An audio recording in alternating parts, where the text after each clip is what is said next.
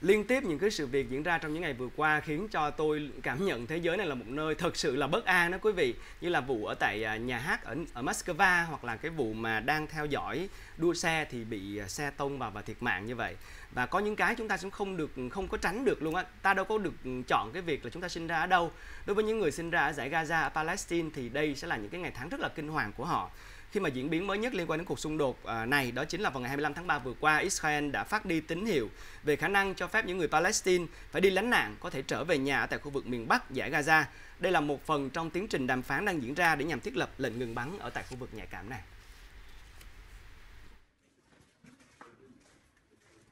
Thông qua vai trò trung gian của Qatar và Ai Cập, lực lượng Hamas và quân đội Israel đã đẩy mạnh đàm phán nhằm đạt được thỏa thuận lệnh ngừng bắn trong vòng 6 tuần tới để đổi lại sự tự do của 40 trong số 130 con tin vẫn đang bị Hamas bắt giữ ở Gaza.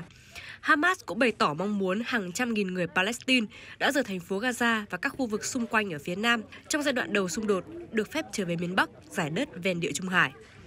Ban đầu Israel đã bác bỏ đề nghị nêu trên.